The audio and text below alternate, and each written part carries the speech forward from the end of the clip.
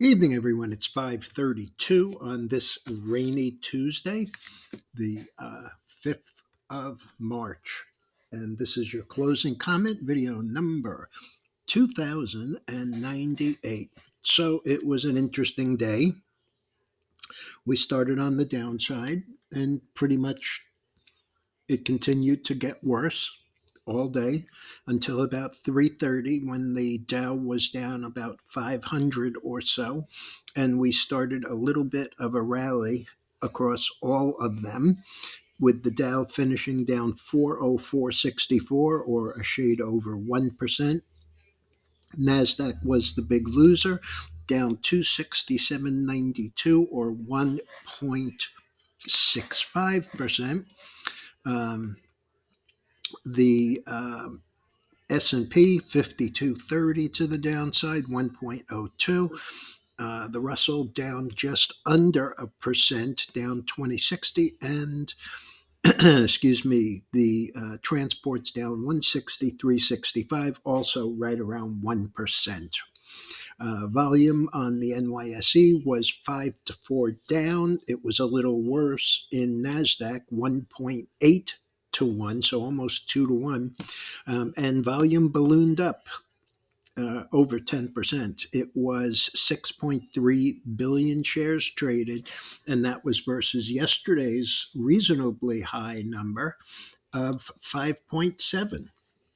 Okay, so to sum up the entire day, take a look at the chart on the screen. It is Bitcoin.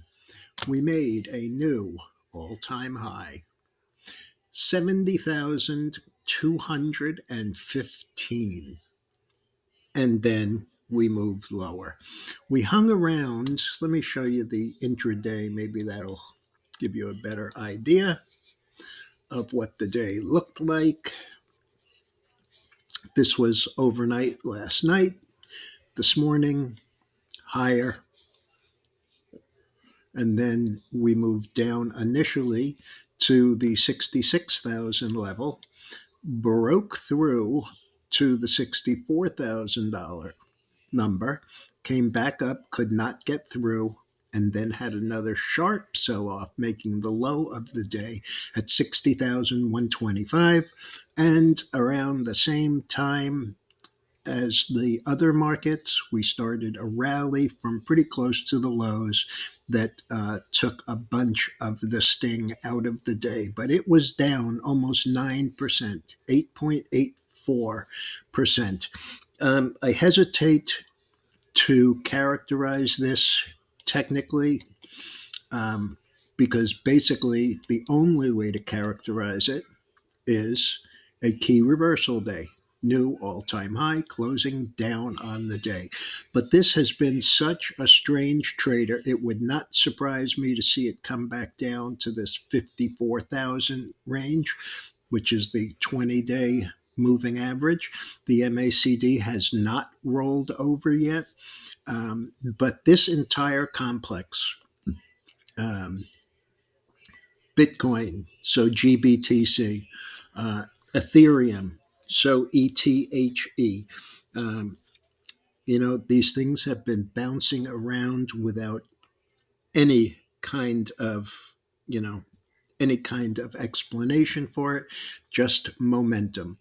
Um, I actually sold some ETHE. I sold two pieces of it, uh, one at uh, 32 66 when it was still up on the day, and then another piece at 30, um, 3064, which was down on the day, and uh, the close in the regular hours was down around 2853 it had been down to 27 07.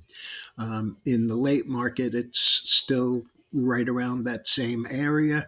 Uh, so we'll have to see the reopen in about uh, 45 minutes. We'll get a better clue from the electronic uh, session.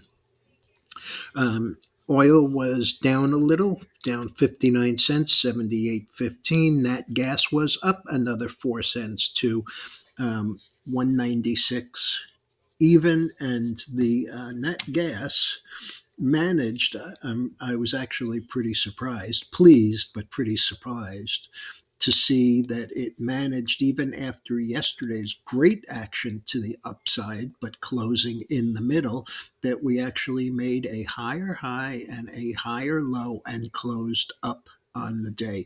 This is very encouraging. I still don't expect it to get, you know, much through this 210, 220 area on this run, but that would still be pretty nice. Uh, the gold was up 15 and the silver was down uh, about a dime.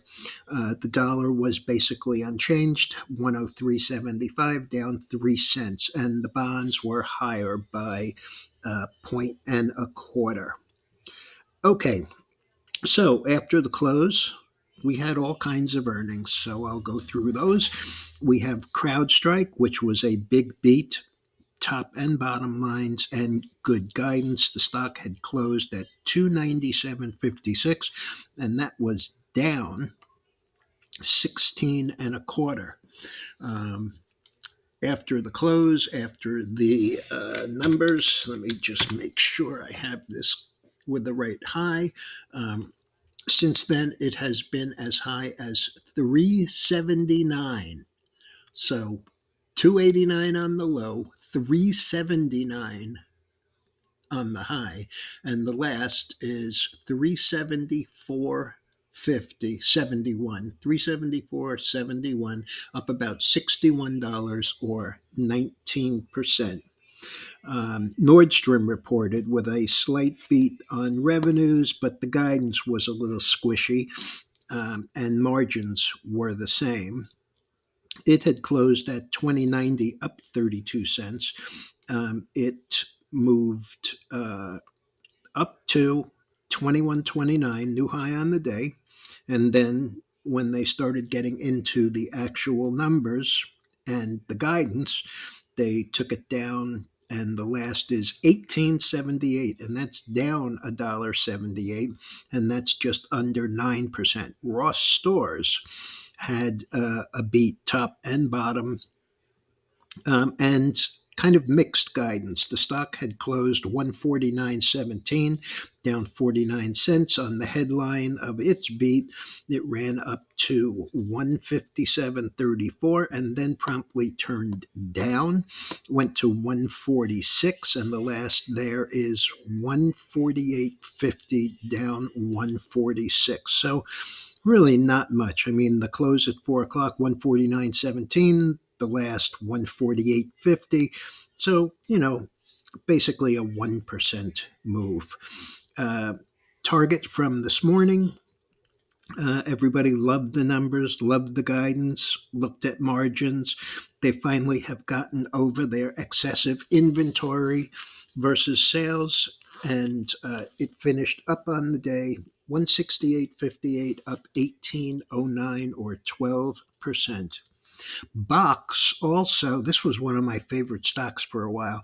Box beat top and bottom line, um, and guidance was mixed. Started out good, but was mixed. The stock had closed at 27.25, down 63 cents. Um, on the headline, it went down to 25.52 and then up to 31.82. It settled back down, and the last on it is 27.97, up nine cents. So, you know, it basically went down two and a half, down two and a half dollars to uh, up four dollars to back to basically unchanged. And SoFi, that I mentioned this morning, that was down about 8%, just sunk all day. Uh, 727 down a dollar 31 or 15%. And basically, the only news there was that 750 million convertible note due um, 2029 that was announced pre-open that got this debacle moving. I mean, you, you have to realize that uh, SoFi has a range of a high just yesterday of $9.13 and a low today of $7.13 and a, the last on it is 723 down a dollar 35 15 and three quarter percent lower. So not good. All right folks uh, tomorrow we have um, fed chairman powell in front of congress um, and we have him in front of uh, the Senate the next day. We have our normal stuff, the weekly uh, MBA mortgage index, but we also at 8:15 have the February ADP employment change. So, uh, briefing is looking at uh, 150 new jobs, and uh, the prior number was 107. Then at 10 o'clock, we have the job openings, the JOLTS. The prior was 9,026,000. Uh, January wholesale inventory expectation is for down a half a percent. The prior was up four tenths. Uh, weekly crude inventories at uh, 1030 and then the march fed beige book which easily can be market moving so that comes out at 2 o'clock all right, folks, I'll be back in the morning. Hope everyone had as successful a day as we did. We had the UNGs up, uh, we had the energy market a little higher, so it was a good day for us. Have a good evening.